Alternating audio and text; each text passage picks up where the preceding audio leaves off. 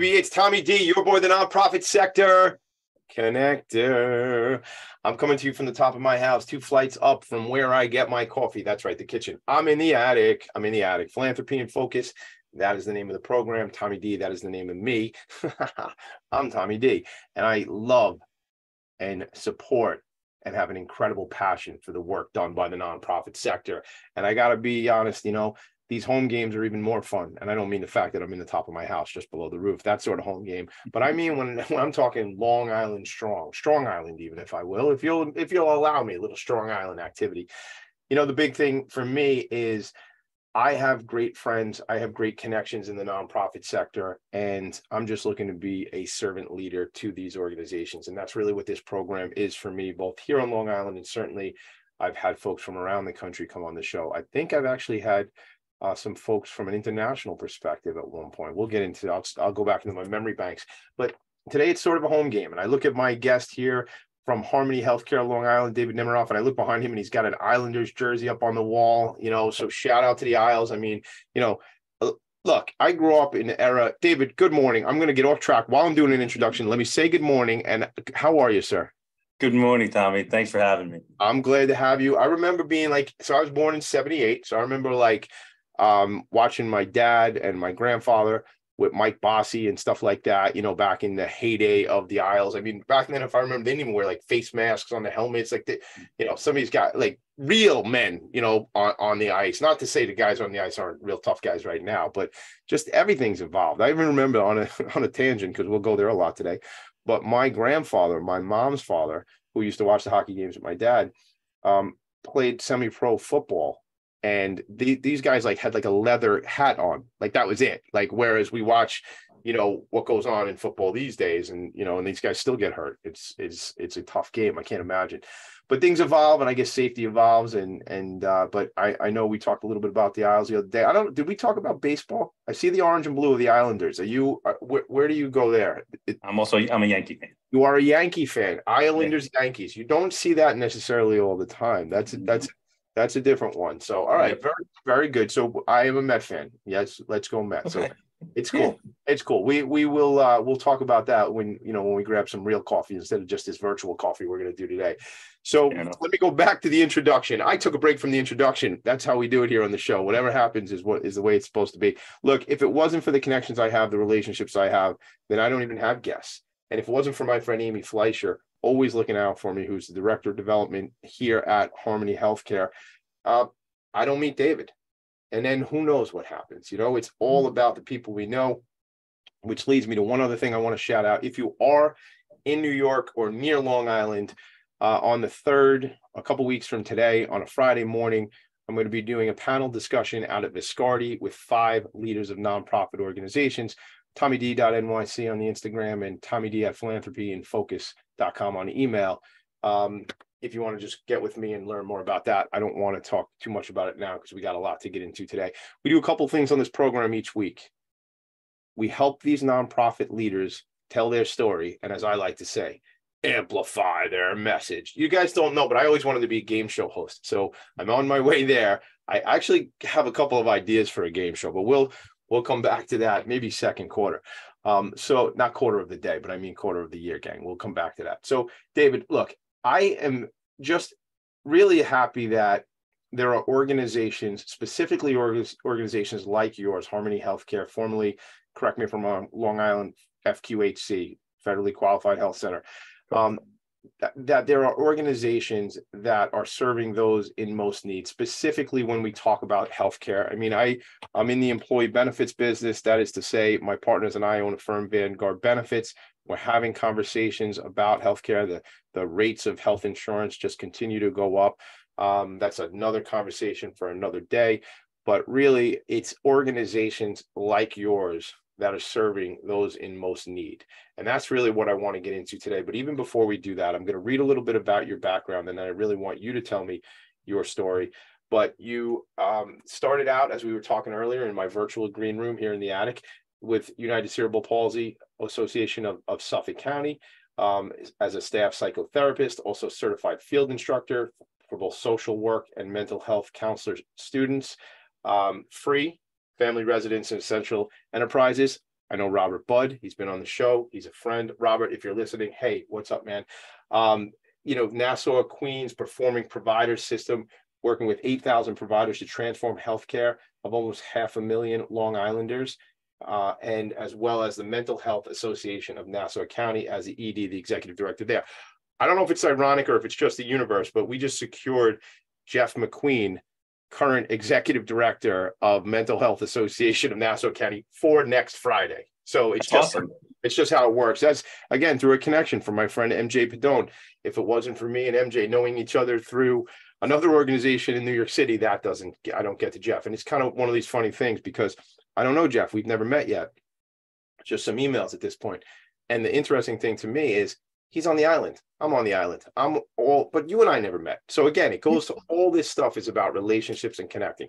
Without any further me just ranting about the importance of connecting, because gang, that's what I do. I'm the nonprofit sector connector. Without any more of that for now, at least in this segment, let's get into the program.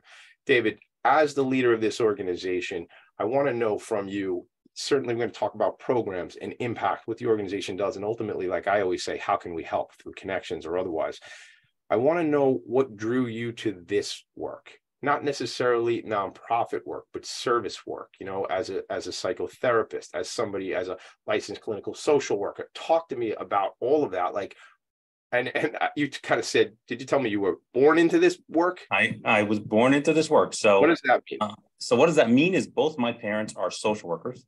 Both my parents, uh, when I was born, were living upstate New York, and they were uh, house parents for 14 mentally ill girls in uh, in a group home, and I was born into that facility as a a child and uh, had 14 mentally ill sisters. Uh, not even so, not as a joke. You were literally born into the this environment. Oh my correct. Yeah. So both uh, my folks were young and and you know want to save the world, and and so they were uh, house parents, and then you know we uh, I think I was born up in Corning, New York, and then moved down uh, to Long Island uh, at a young age, and so I've been in the you know helping service field my entire life.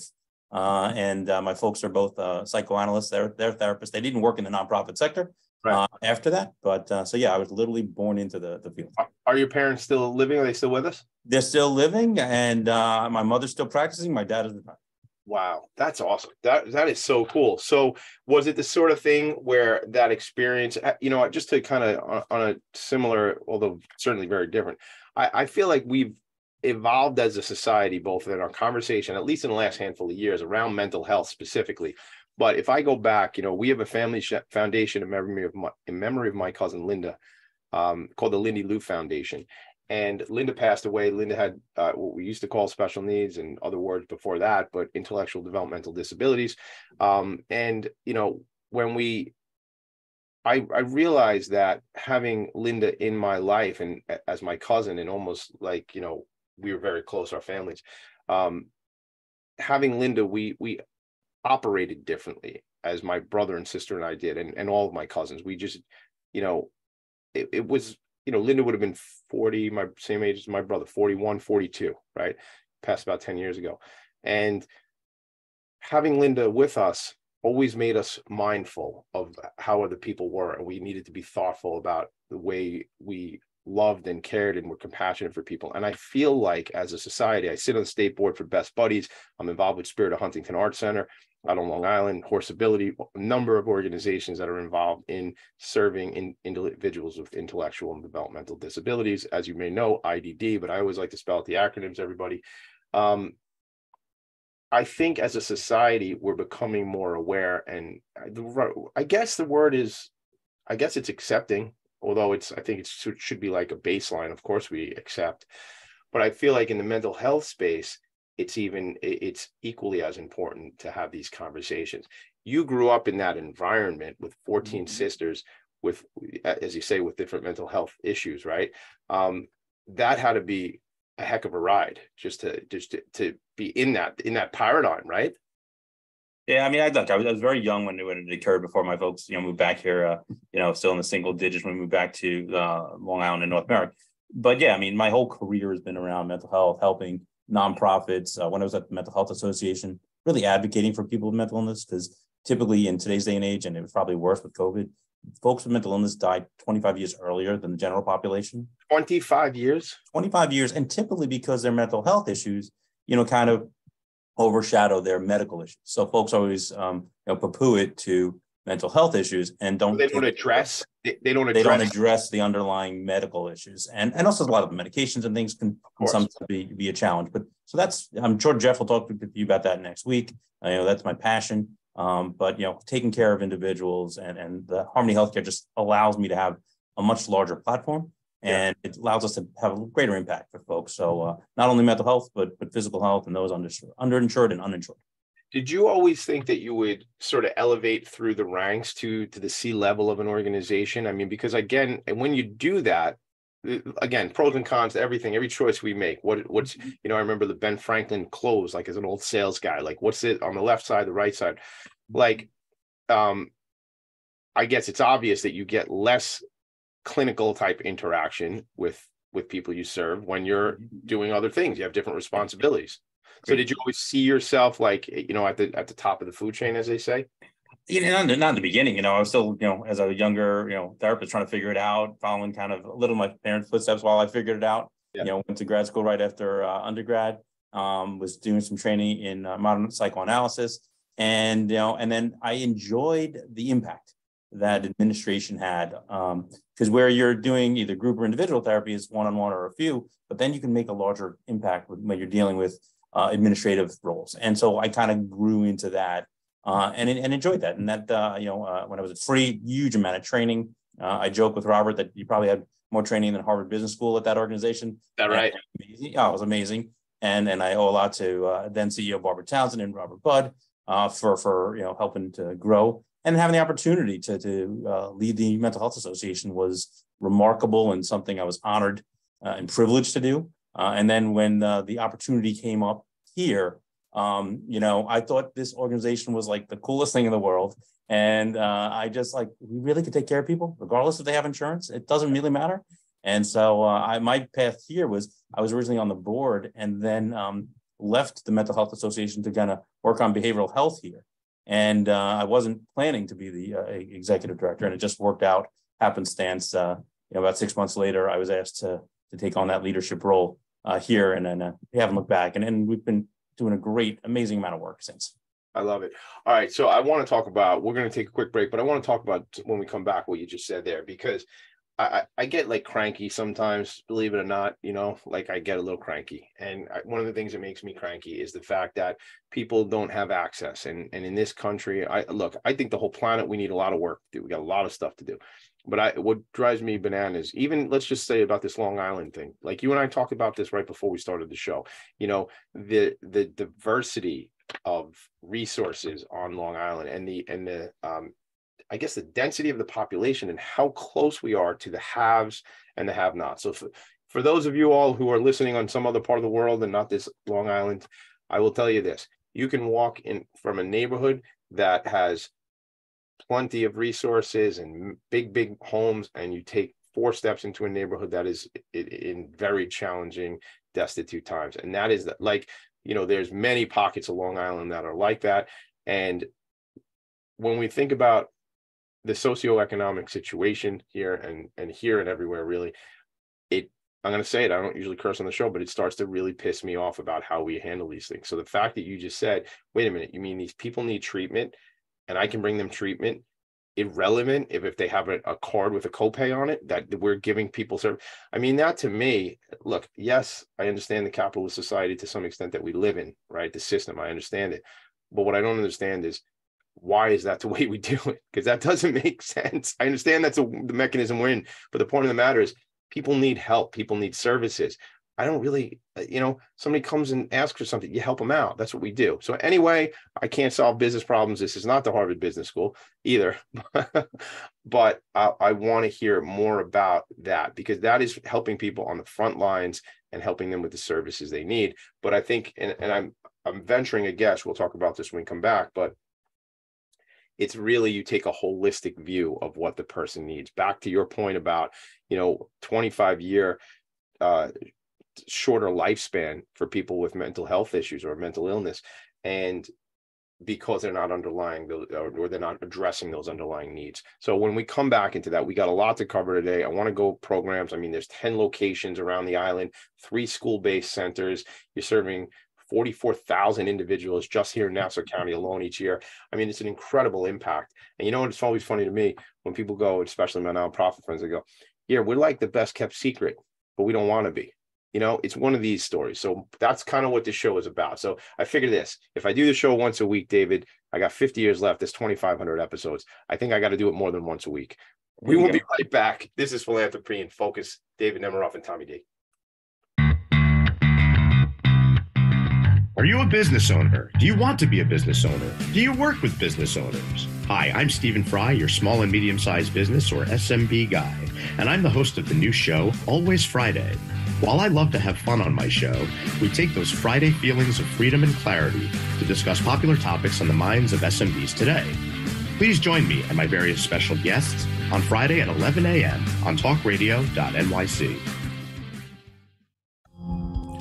you a conscious co creator? Are you on a quest to raise your vibration and your consciousness? I'm Sam Leibowitz, your conscious consultant, and on my show, The Conscious Consultant Hour Awakening Humanity, we will touch upon all these topics and more. Listen live at our new time on Thursdays at 12 noon Eastern Time. That's The Conscious Consultant Hour Awakening Humanity, Thursdays 12 noon on talkradio.nyc.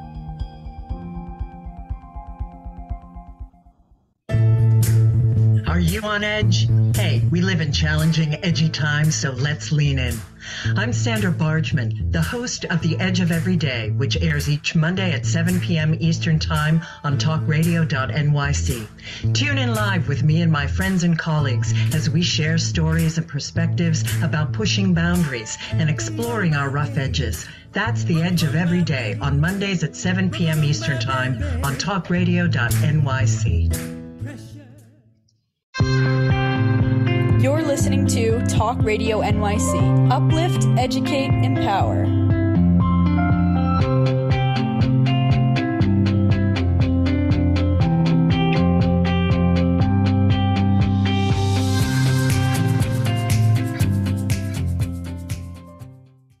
Nonprofits need connections to move in good directions.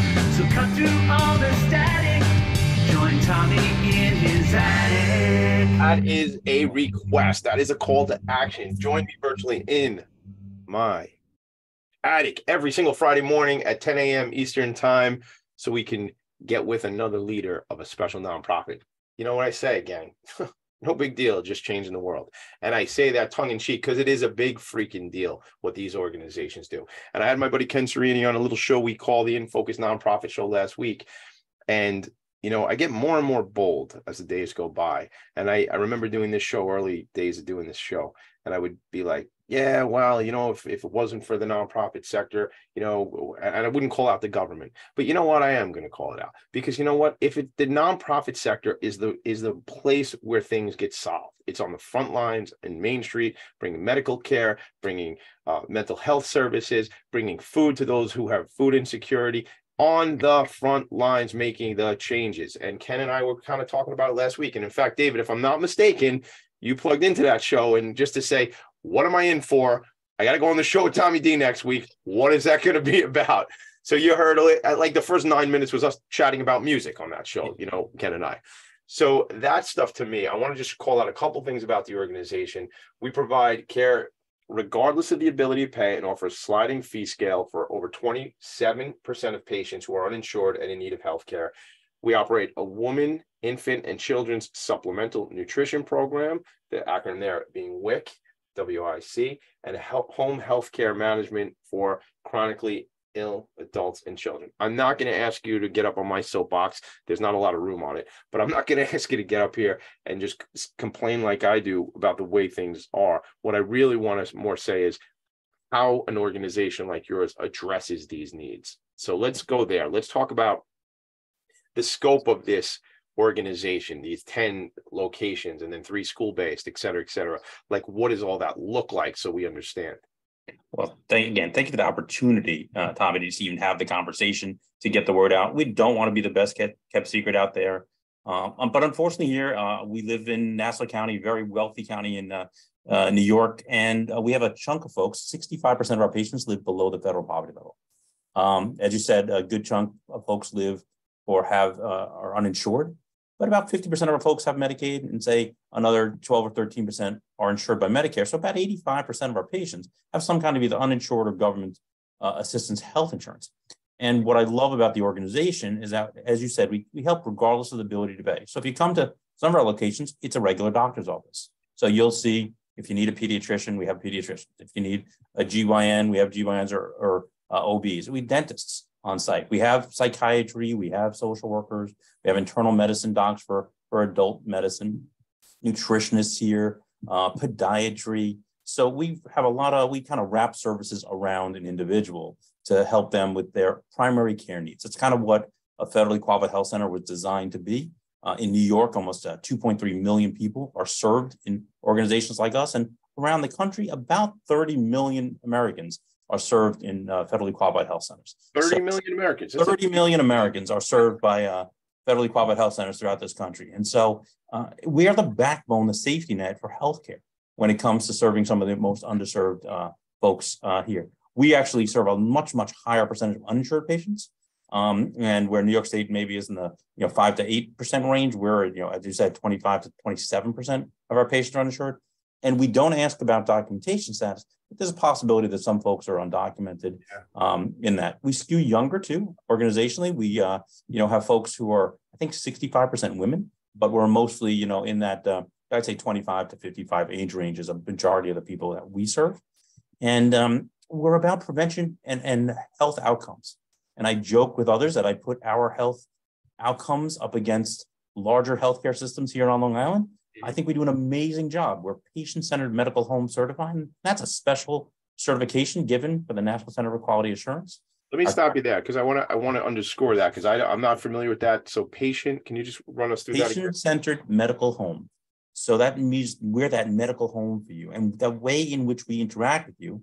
There's an, uh, an organization, the National Center for Quality Assurance, that puts out national standards on healthcare, and you have to comply and it used to be every three years, now it's every year to meet standards of care and how you care for a population uh, with team-based care, making sure that not only when the patient calls uh, at our front desk or call center, but the medical assistant is working, the nurse, the doctor, that care management, we're wrapping around services to an individual and really working with them. We have a full electronic medical record that's uh, electronic portal. So if you need to text your doctor, you can. And we roll out new technology every day to help connect with our patients. We try to remove those obstacles. Uh, we went from zero telehealth to about 35,000, 40,000 telehealth visits pretty much overnight. Um, we advocated for people to get COVID tests because in the beginning, when COVID broke out, not a lot of our folks were able to drive to Jones Beach or, or other mass testing facilities. So we worked with the county to put up tents right outside the health centers yeah. in locations. You could just walk in. And so folks who don't have access to, to uh, transportation or public transportation could have just come to us. And we did that actually with Island Harvest where we give out food. We tested you and positive and gave out food at the same time. I love that. So let's let's stay. Well, now, now there's like four things I want to talk about. What you just said. The first thing is, look, I, I get on my high horse and I say that the government can't do these things. I say the deal of it is we need that partnership, though, right? We need the, the front lines, the ones who do the work are our nonprofits. Listen, if you live anywhere on Long Island, you live near the railroad. So you're probably hearing the railroad. There it is. That's the train coming right by. You know, I feel like Johnny Cash. I hear the train a coming. It's rolling. I'm sorry, David. I tried not to sing today, but it's happening. it's rolling round the bend. All right. So Nassau County, we appreciate the support. We need those those partnerships. I don't want to beat up on everybody, but I think the the part part I always get to is it's the implementation, and it's those organizations like yours that are doing the implementation that are that are proving this stuff and and that are interacting with the public, right? So yeah. we need those partnerships. We need the county support. Um, the other thing I want to bring up is what you said about Island Harvest. So nothing excites me around nonprofit more than when I hear the, the collaboration of the sector. You know, the collaboration of, hey, look, we know the population we're serving. These people uh, don't have transportation or access to to get to Jones Beach, as your example. So they're going to come to one of our centers. Well, let's have a bag of food. let's have some produce, let's have some healthy food. Goes again, in my mind, to serving the whole person, right? Not just this transactional nature of pop by, get your COVID test, and and you know, get get on the, the train or the bus and go back where to your home. But let's, what do you need? How can we Yeah, help? Tommy, we take we take care of everybody. So we we look at we screen everybody with what we call social determinants of health. Yes. So what that is is if you look at really the paradigm or the circle of pie of of healthcare and the cost, maybe we're we're as primary care eleven percent of that cost, but social care, where you live, how you uh, have a job, uh, what you eat, that's like fifty percent almost of the cost of care. Because if you're homeless, who really cares about your hemoglobin A1C or your blood pressure, right? You just want a roof over your head and some food. And so we know we it takes a village. That's my latest theme. We're only going to be successful as an organization if we work with others to take care of the folks we work with. We venture out more with new programs to try to remove those obstacles. We were fortunate enough to get a 40 foot RV uh, awarded to us from New York State uh, last year, and so that RV has now got two medical exam rooms, and it goes out. So we That's go. To, we just we're starting, I think, next week or the week after at the inn where we'll go to them. And They're mostly a, you know a soup kitchen, but but Yeah. they'll work with homeless individuals, and we'll provide medical care. So, So- hold on. So hold on. So so first of all, I, I'm a visual guy, so I see this RV. So that's so cool. So I I, I want to I want to figure out like so you know who I get too many ideas in my head. Yolanda Rabano Gross, if you're listening, I love you. So here, Yolanda runs options for community living. She's one of my friends who's going to be on the panel discussion at Viscardi later, in, you know, on on March third. Um, she had talked about having an RV type thing to deliver services, and they have a location over in Hempstead. So maybe there's if you're not if you don't know Yolanda already, but I, I think you probably do. Yep. But uh, um, there's this cool collaboration. The fact that you're able to take care to the people. Talk about social determinants of health. You're in. Look, you know, especially folks who, again, I don't understand this to be honest with you. That folks live on the street. I don't. I don't. I. I. I, I mean, I understand what's ha- what it is, but I don't understand how that is a thing on this planet. That that's okay. That we're allowing that. So I. I try to digress and pull back and be you know leave my opinion somewhere else. But but this is my show, so I guess they come with it. So so the thing about it, David, is you're in the community. Tell me about that. Like the RV. What is that? What's the look and feel? Like what's the impact? Like how does that? Tell me about that. So the RV is a, a forty foot uh, RV that's got a, a, uh medical assistant, driver, and a nurse practitioner on the uh, on the bus. It is um, handicap accessible, so it's got a, actually a wheelchair lift if somebody's in a wheelchair.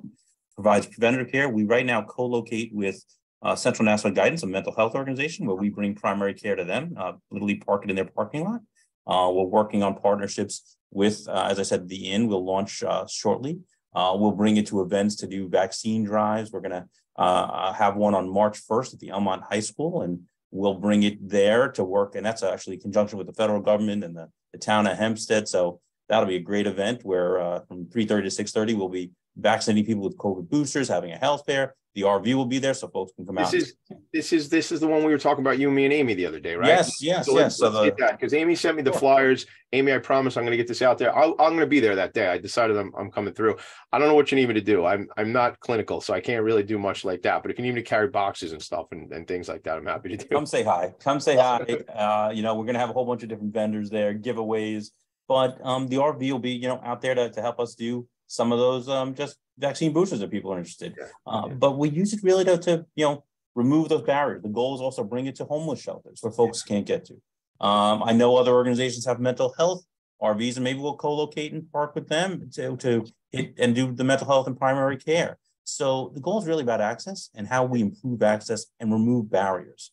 And that was just one tool. We're fortunate enough to get a grant uh, because again, um, half our funding comes from grants, so we Mhm. need that to, to sustain the operations. Yeah, I, I don't know. Um, I mean, do you do you see the the demand for an additional RV? Like, is that a, like, could you, you know, once like this is a pretty, it's a new program with the RV. Yeah, yeah. The RV just launched, uh, you know, uh, last summer. It is a very expensive program to run. Um, so, and it's it's a it's great to to break down barriers. Uh, right now, we have more than enough need in our health center, so the RV kind of Got helps to get to places. Uh, so we're trying to we're building a new health center in Hempstead that'll open, uh, you know, in this fall. So three times the size of our existing one. So there's a huge amount of need, and that's just another way to to help to you know with that need and that access. It's so great. And again, gang, listen, if you're not paying attention to what I'm doing here every single week, is I'm trying to show you that nonprofits are on the front lines changing the freaking world. Like that's it. Like that's what this is about. And as a as a shout out to to just talk about shining a spotlight, we're gonna go to break in a second, but I have up on one of my monitors, I have the website called imagineawardsli.com. You all might have heard me talk about the Long Island Imagine Awards and the New York City Imagine Awards. By the way, New York City Imagine Awards applications are out right now. I'm on the committee for both LI, Long Island, and New York City. But as I look at this, Mr. Nemiroff, as I as I look over here, it's the Bethpage Federal Credit Union Diversity, Equity, Inclusion, and Accessibility Award. And I see one Harmony Healthcare Long Island is a finalist in that category. Now, this is a new category. Maybe we'll talk a little bit about the Imagine Awards, but I what we'll talk about is the Diversity, Equity, Inclusion, and Accessibility Award. So let's talk about that a little bit when we come back. But shout out to the Imagine Awards. Shout out to somebody who I look up to because he's a little taller than me, Ken Cerini, but I also look up to him because he's my friend and he's changing the world. We're going to take a break and then we'll come back and change the world. Tommy D, Philanthropy in Phocus, right back. Are you passionate about the conversation around racism?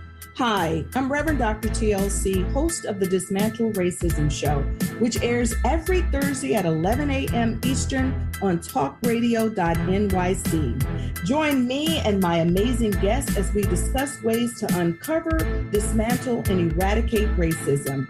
That's Thursdays at 11 o'clock a.m. on talkradio.nyc. In a post COVID world, you may have many unanswered questions regarding your health. Are you looking to live a healthier lifestyle? Do you have a desire to learn more about mental health and enhance your quality of life? Or do you just want to participate in self understanding and awareness? I'm Frank R. Harrison, host of Frank About Health, and each Thursday I will tackle these questions and work to enlighten you. Tune in every Thursday at 5 p.m. on talkradio.nyc, and I will be frank about health to advocate for all of us.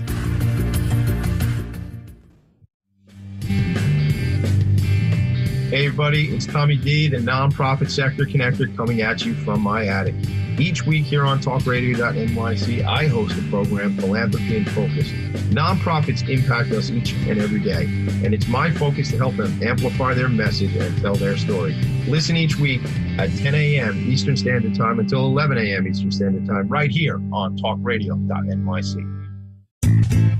You're listening to Talk Radio NYC at www.talkradio.nyc. Now broadcasting 24 hours a day.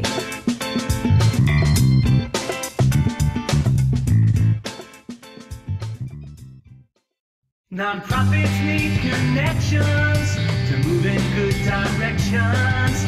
So cut through all the static. Tommy in his attic. All right, we're back.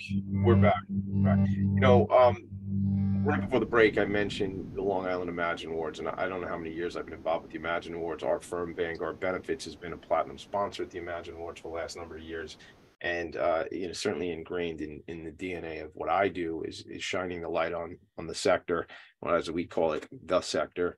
You know, uh, I want to talk a little bit, if you could, David, about just that award that you know talk about so last year um i took some coursework with the institute for nonprofit practice and one of the major reasons i had done that was uh, some of the much of the conversation rather was around diversity equity inclusion and belonging. And um you know diversity comes in so many ways uh, you know um not just racial but um ability you know different uh, mental health issues, right? That we, you know, a, lot of what I talk about in my other nonprofit work is around vocational work.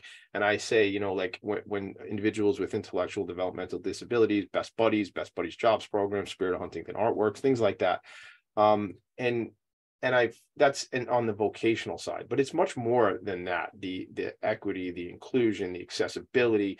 So, can you talk a little bit? I, two things I want to talk to you about that angle with with inside your organization both internally and and then also like externally as far as diversity equity goes Sure. Uh, Yeah. and then also i don't want to go into the mental health conversation what i texted you in the chat a little bit about that after too so let's go there by all means. So, so for uh, the diversity, equity, inclusion piece, so so we really try to you know mimic the staff we have on board employees try to mimic the population we serve.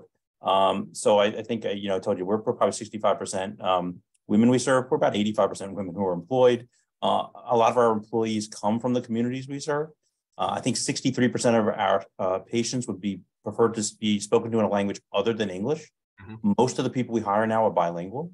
Uh, my entire executive team is all women uh, uh, for diversified uh, communities. Uh, most of our employees are minorities, um, and uh, they're you know they take care of the people that look like them and feel like them. And it's really a, lot easier for some folks to come in. Actually, we did the demographic lineup, and I think we're like dead on with African American employees to patients in terms of demographic, almost dead on for uh, people with Hispanic background to employees, you know, almost white uh, folks. So we try to um, match up as best we can folks from the community for the community.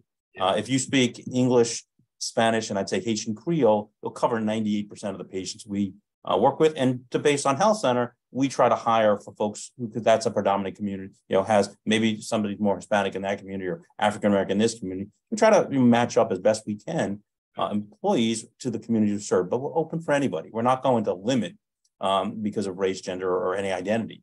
Um, and so we serve everybody. I learned the other day we serve a whole bunch of veterans as, as well. But um, the goal for us is to be open and accessible and for people to feel comfortable. So a lot of training goes into emotional intelligence for our employees yeah. and really how to, to, to, cope with some challenges. A lot of folks, and you mentioned it before, you know, just about the dynamics of Long Island, where you can walk down the block from a Garden City to Hempstead and over the train tracks yeah. to have very, very different living experiences. So if you want to add into the mental health piece of that, a lot of our folks have not only seriously and persistent mental illness that you'll talk to Jeff about, but they have, you know, socioeconomic trauma so a lot of trauma uh, issues with our folks. Um, in the schools, we're finding a lot of kids doing anywhere from vaping to, to new substances.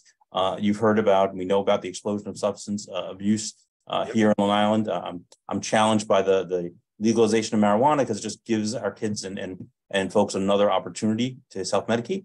Mm-hmm. And, um, you know, we're trying to help folks deal and cope with that. Uh, and so the co-location of primary care and behavioral health is something I personally try to focus on because again, I don't want people dying if they don't have to. We want to give them the resources where they can. And, and the, the pandemic opened up telehealth for us, which was great. So it's another way to connect. Um, but and we were also able to bring on some new prescribers to, to help as well. But it's a long road. Uh, unfortunately, we have seen the spike in opioid uh, use, not as much in some of our communities as in others, uh, surprisingly. But I will tell you, the substances of marijuana, alcohol uh, were there before. They're there today. They're not changing too much. Uh, and that's the stuff that we we focus on more because that's more of what our patients are seeing. Uh, we definitely uh, screen for substance abuse and mental health issues. But if we can wrap around our services, and if we don't have it, a partner, that's how we've done good work. And that's how we've really supported our mission and the vision of the board and, and the organization. Thank you for all that. And look, you know, we are in crisis from uh, from the drug challenges in this country. I mean, having I'm I'm raising four children. Um, and it's a scary time, man. It really is. And you know, you, you're you, we must have these conversations, um, and uh, I, am appreciative that it's on the forefront. And uh, again, people are in pain. That's uh, you know, not to not to um, diminish mental health illness, men, um, or mental health issues, or mental illness, um, but people are in pain because of the way the world is right now. And and you know i i haven't so i share on the show so most people who are listening know i i quit drinking about 12 years ago. Um, and uh, that was an important thing excuse me it's an important step in my life and and certainly changed the trajectory of a lot of things i had going on. And uh but i think in terms of when we're in pain and we're hurting we look for to to be out of pain you know? And and if you talk about the mental health issues and you talk about challenges uh, uh, socioeconomic challenges for sure, you know, then people are looking for an outlet. So we need to support these people in different ways. And the second ever episode of this program was my friend Dr. Larry Grubler. Um, it seems like little by little, I'm going to call out everybody on next week, next month's panel discussion. Dr. Larry Grubler from Transitional Services for New York, serving 4,000 individuals uh, with mental illness in New York City each year. And um, he said, you know, Tommy, we we all need support at different times and i think that's what we need to remember is the compassion and the empathy and the support and love for each other is what we do, is what we need to do. So um, to the to this to this word that scares the hell out of me, this fentanyl, I don't even understand what it's all about. It, it's scary as hell. Um, but these are this is real life stuff, David. You're on the front lines dealing with real people who have real issues and real challenges, and and um, you know I, will just kind of leave it there for, because these are important dialogues that we need to continue having. A couple months ago, the HIA had an event here in Long Island where they had um, uh, four executive leaders from nonprofits, and they were talking about the mental health issues and the and the fact that you know I, I don't know if the right word is silver lining, but certainly COVID and a lot of things in in the world right now have shined the light on this thing. This stigma, there's been this stigma around the mental health conversation forever, right? Why ever it was there, it, it has been there. And I believe, having, you know, I've been involved with TSINY for about 10 years. I believe that we're we're opening this conversation, man. We're having the dialogue. It ain't it, you know, it's still in it's still covered up in a lot of ways, but we're having this dialogue. I mean, would you agree? And and as an employer, this is where I'm going to bring you now. As an employer, you know, being that we we're in benefits, we're always talking about um, EAP plans, employee mm-hmm. assistance plans, and we're talking about what type of mental health services. These are the questions we get from employees and sure. employers. What are my mental health services? So, you know, I'd love to hear from your perspective as a leader of an organization. What is that? Those conversations internally for your own staff, for your own people, oh. checking in and whatnot. We have them all the time. So, so first and foremost, our folks were traumatized by COVID like you or anybody else was.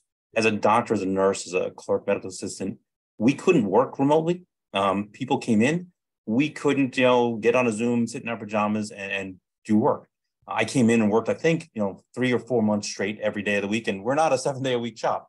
Right. And so the trauma that employees went through of, you know, they couldn't leave to go home and leave it at work because COVID was everywhere.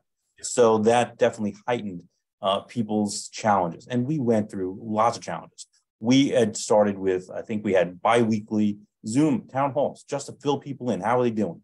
At one point, I hosted a few sessions with our EAP uh, program just for employees to deal with um, stress and anxiety and coping skills. So we would host free sessions on how to deal with depression and challenges at work so that way people could have access and to, and offer the, the EAP services. We do that for free, I think for four or five sessions for folks that is anonymous. They don't have to, you know, it doesn't come back to us.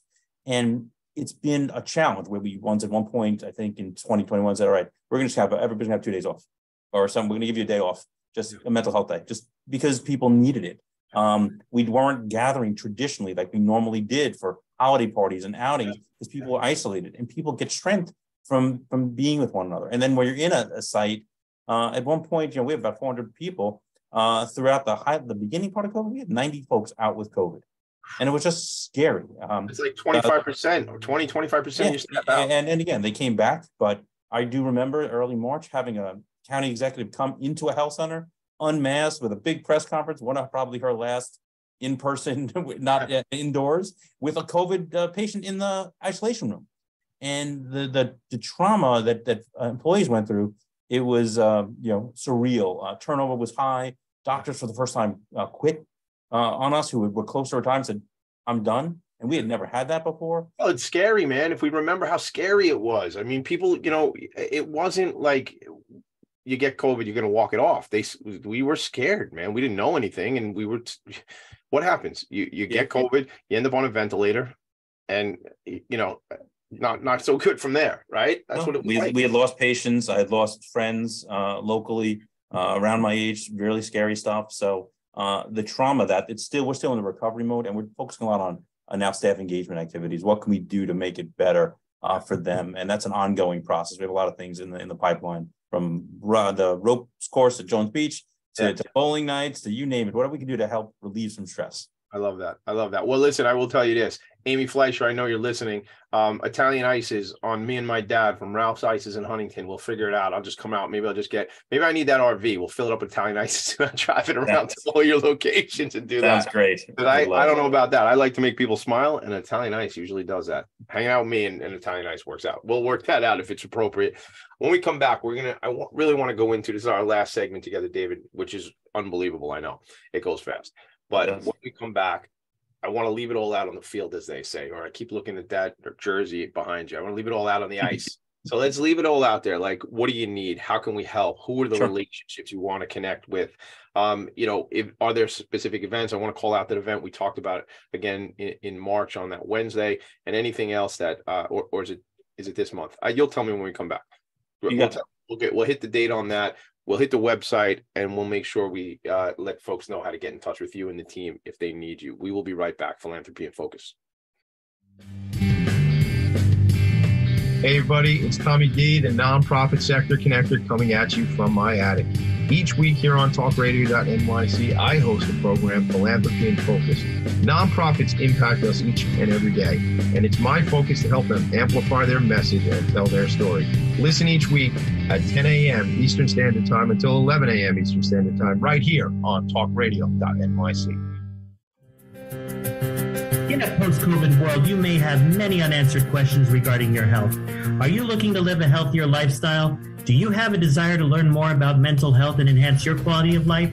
Or do you just want to participate in self understanding and awareness? I'm Frank R. Harrison, host of Frank About Health, and each Thursday I will tackle these questions and work to enlighten you. Tune in every Thursday at 5 p.m. on talkradio.nyc, and I will be frank about health to advocate for all of us. You a conscious co creator? Are you on a quest to raise your vibration and your consciousness? I'm Sam Leibowitz, your conscious consultant, and on my show, The Conscious Consultant Hour Awakening Humanity, we will touch upon all these topics and more. Listen live at our new time on Thursdays at 12 noon Eastern Time. That's The Conscious Consultant Hour Awakening Humanity, Thursdays, 12 noon on talkradio.nyc. You're listening to Talk Radio NYC at www.talkradio.nyc. Now broadcasting 24 hours a day.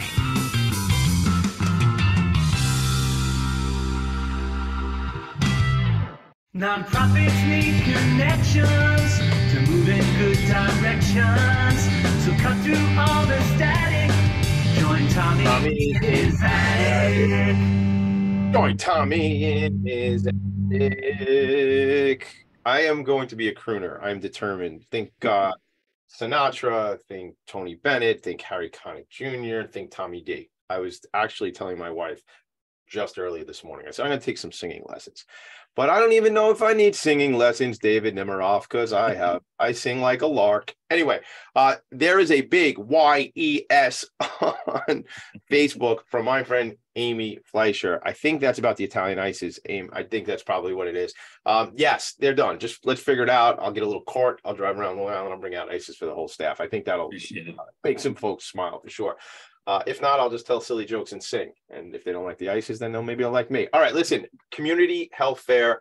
Thank you, Amy, for sending this over to me again. Uh, Harmony Healthcare in partnership with the town of Hempstead, Supervisor Don Clavin, Councilman Thomas Muscarella, um, with Hope Haitian Haitians Americans United for Progress, which I know this organization for many many years. Shout out to um, um, um, Elsie St. Louis over at Hope. Should get you on the show, Elsie. We got to figure that out. Um, Wednesday, March first, two thousand twenty-three, from three thirty p.m. to six thirty p.m. at Elmont Memorial High School. I grew up very very close there in Franklin Square, so I know the neighborhood pretty well. Uh, free vaccines. Um, COVID 19 vaccine boosters, flu, Tdap, pneumonia, shingles, health screenings, health education, workshops, community resources, health insurance information. So that's all going on. So that I wanted to point out. But David, let's get back into what you need to point out. Who can we connect you with? Who can we bring to the organization? What what do you need? Let's talk that. So we need a lot of different resources. I know one thing that Amy's working on for us right now is working on a cool project called for baby boxes. I don't know if people realize this, but here in Nassau County, African American women unfortunately are passing away at three times the rate of white women when it comes to childbirth. So we're looking to uh, purchase newborn baby boxes to give to all of our new moms. Uh, so we're looking to, to fundraise. I think the the goal is around fifty thousand dollars to support all those those uh, new moms out there. And we've got some funding coming in from donors as we speak. But simple thing is we're looking, and, and uh, Amy has connected us to to other folks who have access to diapers and all kinds of things. But in Norway, they help drive down the maternal mortality of these baby boxes. So it's almost everything you need when you have a newborn. So we're looking at that. I love it. I got to sneak in here because I got to take a little Sure, sure. credit. I got to take a little credit because Amy, go. Amy sent me a text or an email or something. She's like, Tommy D, because that's what they call me. She said, Tommy D, uh, I need to meet Heather Edwards from the Allied Foundation. So I played a little bit of the old nonprofit sector connector, if you know what I'm saying, sir. But I, I tell you that to be a little self-serving, but I tell you it more to, to shout out Heather Edwards, who ironically is one of the three of the five folks that's going to be on my panel discussion on the 3rd of, of March. So Heather Edwards, Allied Foundation, an incredible woman, an incredible organization, and really making such, such uh she makes light work of what is not light work at all. I mean you know just re- diapers and and wipes. And she was on the, the show um a couple maybe last month or whatever it was. And uh, we talked about the uh they have a period poverty project going on right now. Tragically you know young women and girls uh, don't have access all the time to to the needs that they have when they're experiencing a period. I mean these are like basic Yes. things we're talking about gang. And again this is long island you know that, that that that people don't have these things that they need. Anyway let's put that on the side. Baby boxes. What else david? Baby baby boxes is a- is a biggie uh, for us. Again, that's uh, to help our upwards of 500 uh, new moms that we have every year. Uh, so that's a, huge thing. Um, donations to help with the underserved. Uh, right now, we we do give out free medication to people who are uninsured because medication's expensive. So there's a program New York State has called 340. Uh, the federal government has, excuse me, called 340B. It lets us uh, save those discounts and give them to uninsured patients, but dollars for for medication. Simple thing is medication. Uh, you know, if, if you can't get a simple antibiotic or a, or a um, cholesterol drug, it's really, really hard to take care of your health. So we try to provide our patients with a discount drug card and we'll pay uh, the medication. So, you know, that's out of our pocket because we know it's the right thing to do. Um, we even uh, hooked up with a company called DocGo to send uh, an EMT to somebody's home if they're chronically ill because we want to check on them more frequently and it gets them a telehealth visit back with their provider and it keeps them out of the hospital. And it's it's on our dime because it's the right thing to do. It saves the system money because they're not frequenting a hospital, and actually people get better. Novel concept. Yeah. So, uh, that was not lost on me that little sarcasm sir novel concept somebody gets better right we make an impact they feel better they're healthy right yeah. so, So critical. dollars to do that work, uh, and we'd love somebody just to sponsor a couple of these programs, and that would be ama- amazing. Uh, working with you know Island Harvest for food, uh, and uh, Long Island Cares, they're they're great partners. Uh, that's a huge beneficial work. So wherever we can, even something as simple as uh, transportation. We were fortunate enough to get a ride uh, grants from Uber, uh, through LASC to do Uber rides this year. So we can get our patients to and from because they couldn't not always access public transportation here in Nassau. So so we used to pay Metro cards out of our own pocket just to get people to and from their doctor's appointments because that was impossible. Yeah. So it's the simple things, the hierarchy of, of needs, that Maslow thing. They we need the simple. We need food, clothing, and shelter, and the access to, to care. So dollars for us goes to these programs out of our own funds to support those who are most in need.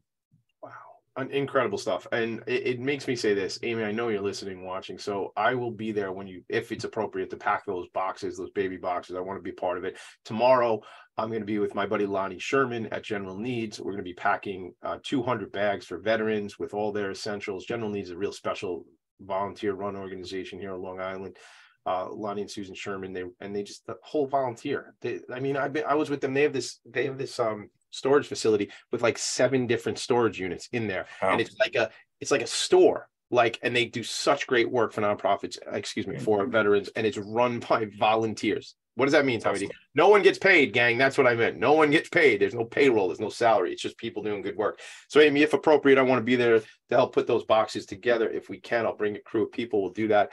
Um, I, I, what do you want people to remember, David? Anything else that we should leave with them with? How do they?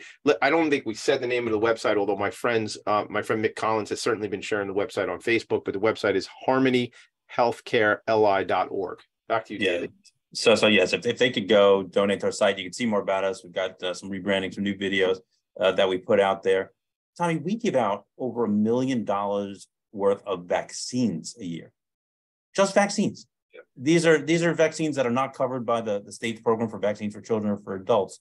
Just you know the normal vaccines to keep people healthy, uh, and that costs us more than we bring in right? So that's because it's the right thing to do, and that's public health. That's what we we're here for. So that's just a, a million dollar drop in the bucket, which is a lot of money to help our fellow uh, neighbor.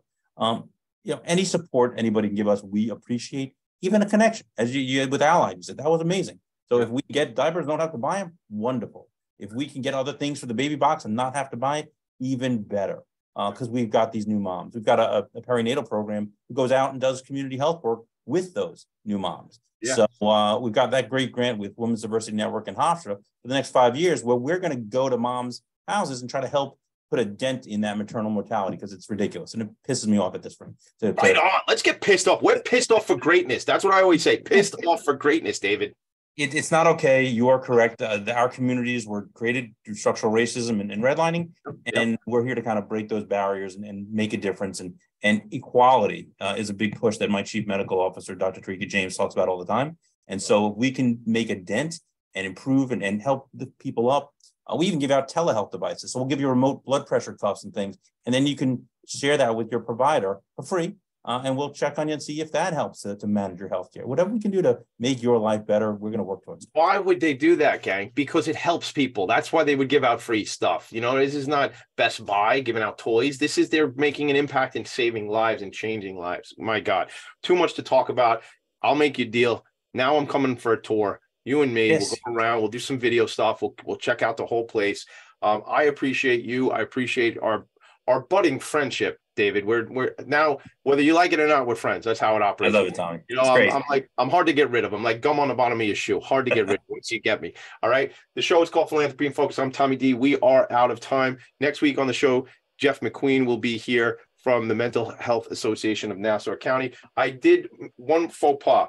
The other two folks on my panel, since we started playing that game, fill in the blanks, Dr. Chris Rosa from Viscardi, okay, the Viscardi Center, and Melinda Murray Nyack, who's been on the program a couple weeks back. Uh, sudden cardiac arrest is not rare, gang. It is not rare. Okay.